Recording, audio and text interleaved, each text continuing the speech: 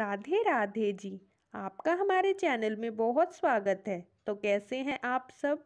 आज इस वीडियो में हम रमा एकादशी की व्रत कथा जानेंगे। तो पूरी कथा को श्रद्धा पूर्वक सुनिएगा। प्राचीन काल में मुचुकुंद नाम का एक राजा था। उसकी इंद्र के साथ मित्रता थी और साथ ही यम, कुबेर, वरुण और विभीषण भी उसके मित्र थे।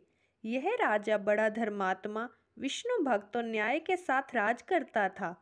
उस राजा की एक कन्या थी, जिसका नाम चंद्रभागा था। उस कन्या का विवाह चंद्रसेन के पुत्र शोभन के साथ हुआ था। एक समय वह शोभन ससुराल आया। उन्हीं दिनों जल्दी ही पुण्यदायिनी एकादशी, यानी कि रमा एकादशी भी आने वाली थी। जब व्रत समीप आया तो चंद्रभागा के मन में अत्यंत सोच उत्पन्न हुई कि मेरे पति अत्यंत दुर्बल हैं और मेरे पिता की आज्ञाति कठोर है। दशमी को राजा ने ढोल बजवाकर सारे राज्य में यह घोषणा करवा दी कि एकादशी को भोजन नहीं करना चाहिए। ढोल की घोषणा सुनते ही शोभन को अत्यंत चिंता हुई और अपनी पत्नी से कहा कि, हे प्रिय, अब क्या करना चाहिए? मैं किसी प्रकार की भूख सहन नहीं कर सकूँगा। ऐसा उपाय बतलाओ जिससे मेरे प्राण बच सकें। अन्यथा मेरे प्राण अवश्य चले जाएँगे। चंद्रभागा कहने लगी कि, हे स्वामी मेरे पिता के राज में एकादशी के दिन कोई भी भोजन नहीं करता। हाथी, घोड़ा, ऊँट, बिल्ली, गो आदि भी तृण, अन्न, जल और आदि ग्रहण नहीं कर सकते। फिर मनुष्य का तो कहना ही क्या है? यदि आप भोजन करना चाहते हैं तो किसी दूसरे स्थान पर चले जाइए, क्योंकि यदि आप यहीं रहना चाहते हैं तो आपको अवश्य व्रत करना पड़ेगा। ऐसा सुनकर शोभन कहने लगा कि, हे प्रिय, मैं अवश्य व्रत करूँगा। जो भाग्य में होगा, वह देखा जाएगा। इस प्रकार से विचार कर शोभन ने व्रत रख लिया और वह भूख व प्यास से अत्यंत पीड़ित होने लगा। जब सूर्य नारायण अस्त हो गए और रात्रि को जागरण का समय आया तो जो वैष्णवों को अत्यंत हर्ष देने वाला था, परंतु शोभन के लिए अत्यंत दुखदायी हुआ। प्रातःकाल होते शोभन के प्राण निकल गए। तब राजा ने सुगंधित काष्ठ से उसका दाह संस्कार करवाया। परंतु चंद्रभागा ने अपने पिता की आज्ञा से अपने शरीर को दग्ध नहीं किया और शोभन की अंत्येष्टि क्रिया के बाद अपने पिता के घर में ही रहने लगी। रमा एकादशी के प्रभाव से शोभन को मंद्राचल पर्वत पर धन धान्य से युक्त तथा शत्रुओं से रहित एक सुंदर देवपुर प्राप्त हुआ। वे अत्यंत सुंदर रत्न और वैद्यमणि जनित, स्वर्ण के खंभों पर निर्मित अनेक प्रकार के स्फटिक मणियों से सुशोभित भवन में बहुमूल्य वस्त्राभूषण तथा छत्र व चंवर से विभूषित गंधर्व और अप्सराओं से युक्त सिंहासन पर आरूढ़ ऐसा सौभाग्यमान होता था। मानो दूसरा इंद्र विराजमान हो।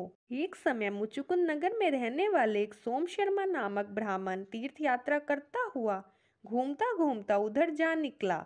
उसने शोभन को पहचान कर कि यह तो राजा का जमाई शोभन है, उसके निकट गया। शोभन भी उसे पहचान कर अपने आसन से उठकर उसके पास आया और प्राणादि करके कुशल प्रश्न किया। ब्राह्मण ने कहा कि राजा मुचुकुंद और आपकी पत्नी कुशल से हैं। नगर में भी सब प्रकार से कुशल है। परंतु हे राजन, हमें आश्चर्य हो रहा है। आप अपना वृतांत कहिए कि ऐसा सुंदर नगर जो न कभी देखा, न सुना, आपको कैसे प्राप्त हुआ? अब शोभन बोला कि कार्तिक कृष्ण की रमा एकादशी का व्रत करने से मुझे यह नगर प्राप्त हुआ, परंतु यह अस्थिर है, यह स्थिर हो जाए, ऐसा उपाय कीजिए। ब्राह्मण कहने लगा कि, हे राजन, यह स्थिर क्यों नहीं है और कैसे स्थिर हो सकता है? आप बताइए, फिर मैं अवश्य में वह उपाय करूँगा। मेरी इस बात को आप मिथ्या न समझिए। शोभन ने कहा कि मैंने इस व्रत को श्रद्धा रहित होकर किया है। अंतः यह सब कुछ अस्थिर है। यदि आप मुचुकुंद की कन्या चंद्रभागा को यह सब वृतांत कहे तो यह स्थिर हो सकता है। ऐसा सुनकर उस श्रेष्ठ ब्राह्मण ने अपने नगर लौटकर चंद्रभागा से सब वृतांत कह सुनाया। ब्राह्मण के वचन सुनकर चंद्रभागा बड़ी प्रसन्नता से ब्राह्मण से कहने लगी कि, हे ब्राह्मण ये सब बातें आपके प्रत्यक्ष देखी हैं या स्वपन की बातें कर रहे हैं? ब्राह्मण कहने लगा कि, हे पुत्री, मैंने महावन में तुम्हारे पति को प्रत्यक्ष देखा है। साथ ही किसी से विजय न हो ऐसा देवताओं के नगर के समान उनका नगर भी देखा है। उन्होंने यह भी कहा कि यह अस्थिर है। जिस प्रकार वह स्थिर रह सके, सो उपाय करना चाहिए। चंद्रभागा कहने लगी, हे विप्र, तुम मुझे वहाँ ले चलो। मुझे पतिदेव के दर्शन की तीव्र लालसा है। मैं अपने किए हुए पुण्य से उस नगर को स्थिर बना दूँगी। आप ऐसा कार्य कीजिए जिससे हमारा संयोग हो, क्योंकि वियोगी को मिला देना महापुण्य है।